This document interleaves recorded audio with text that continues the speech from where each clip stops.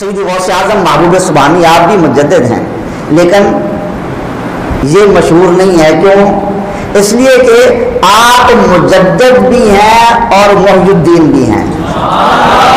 मुजद का काम क्या होता है कि जब गर्दो गुबार आता है, उसको साफ़ कर देता है। और मोहुद्दीन क्या है कि मुर्दा को ज़िंदा कर देता है।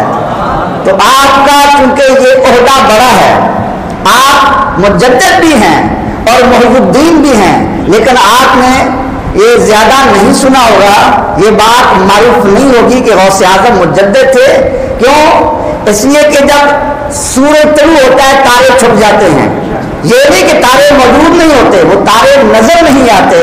तो आपका वस्फ मोहुद्दीन गालिब है और मुजद के वसफ की तरफ़ निगाह नहीं जाती। तो अल्लाह ने आपको